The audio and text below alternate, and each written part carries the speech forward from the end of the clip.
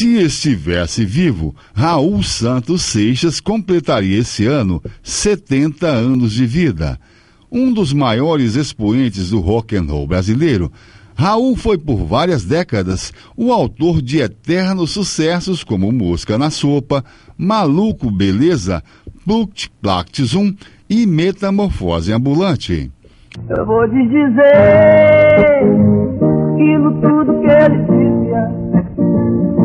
Eu prefiro ser essa metamorfose ambulante do que ter aquela velha opinião formada sobre tudo.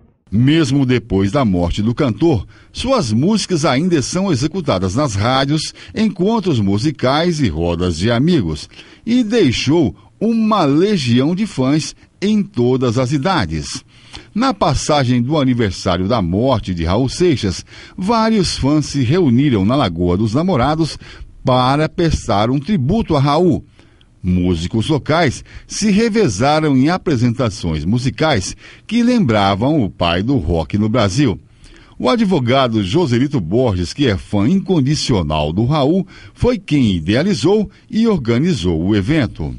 Então, a gente tem uma necessidade de estar tá criando alguns eventos para que a gente que gosta de uma boa música, gosta de um evento de qualidade, possa estar tá participando. Então, nas conversas lá em casa, nas conversas no boteque, que a gente tem com você, com Roberto Locutor, com o Rock Soares, com nosso amigo Roberto de Jesus, ele está sempre discutindo essas coisas, de fazer alguma coisa cultural. Então, foi aí que surgiu essa ideia.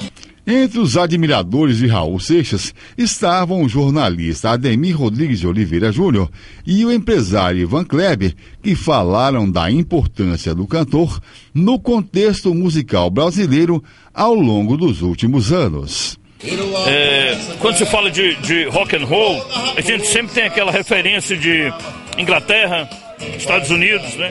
O, o Raul Seixas brotou numa época em que o rock nacional começou a, a, a se tornar independente né, dessas influências do rock britânico, do, do, do, do rock norte-americano. Né? Então, o Raul deu a cara, deu o norte do rock nacional.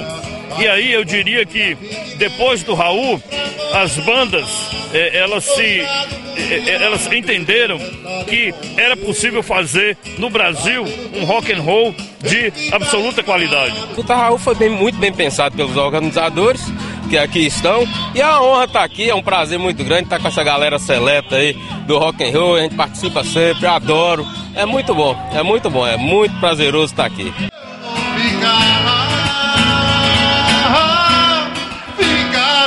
Certeza, maluco, beleza. Eu vou ficar, ficar com certeza, maluco.